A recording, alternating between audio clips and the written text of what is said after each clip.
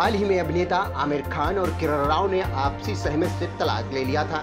इसके बाद से दोनों लगातार सुर्खियों में बने हुए हैं। दोनों की फ़ोटोज़ लगातार वायरल हो रही हैं। अब ऐसे में लद्दाख से आमिर और किरण का एक वीडियो वायरल हुआ है, जो कि काफ़ी ट्रेंड कर रहा है। इस वीडियो में आमिर किरण के साथ नज़र आ रहे हैं और डांस कर रहे हैं। वहीं फैंस आमिर किरण का यह वीडियो काफ़ी पसंद कर रहे हैं तो कुछ लोग उन्हें ट्रोल भी कर रहे हैं। आपको बता दें कि इस वीडियो में किरण और आमिर लाल सिंह चड्ढा फ़िल्म के सेट पर वहाँ के ट्रेडिशनल कपड़े पहनकर डांस करते नज़र आ रहे हैं। बताया जा रहा है कि लद्दाख का ट्रेडिशनल डांस सोंडोल है।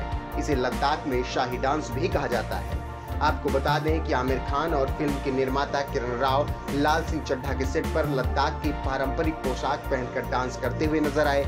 आमिर खान ने रेड कलर की ड्रेस के साथ ब्लू टोपी लगाई थी तो वहीं किरण पिंक कलर की ड्रेस के साथ ग्रीन टोपी पहने हुई नज़र आई फ़िल्म लाल सिंह चड्ढा इस साल क्रिसमस पर रिलीज़ की जाएगी, जिसमें आमिर खान के साथ करीना कपूर खान भी अहम किरदार में नज़र आएँगे। आमिर और करीना की जोड़ी इससे पहले थ्री इडियट्स में साथ दिख चुकी है।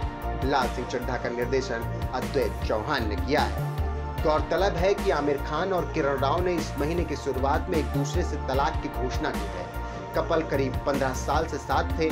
आमिर और किरण की ओर से जारी बयान में कहा गया था कि इन खूबसूरत 15 सालों में हमने एक दूसरे के साथ उम्र भर का अनुभव, अच्छे पल और हंसना खिलखिलाना हासिल किया है। हमारी रिलेशनशिप में सिर्फ़ भरोसा, सम्मान और प्यार था। अब हम अपने जीवन में एक नए अध्याय की शुरुआत कर रहे हैं। पति पत्नी के तौर पर नहीं, लेकिन माता पिता और परिवार के तौर पर हम साथ हैं। इसके आगे कपल ने लिखा था, हम अपने बेटे आज़ाद के लिए समर्पित माता पिता रहेंगे, जिसे हम साथ मिलकर पालेंगे और बड़ा करेंगे। हम अपनी फ़िल्मों, पानी फाउंडेशन और दूसरे प्रोजेक्ट्स में भी साथ काम जारी रखेंगे, जिनके लिए हम दोनों पैसनेट हैं। हमारे परिवार और दोस्तों का बहुत शुक्रिया, जिन्होंने हमें समझा और सपोर्ट किया है। एंटरटेनमेंट एक्स नमन सत्य न्यूज़।